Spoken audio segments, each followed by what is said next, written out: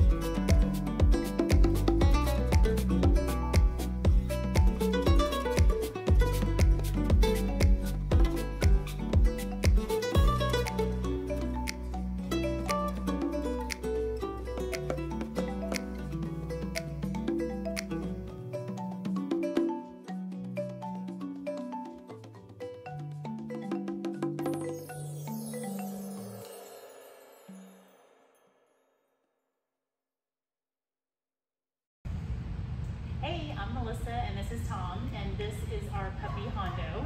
And he was a little bit of a terror when we brought him over here to Bulletproof.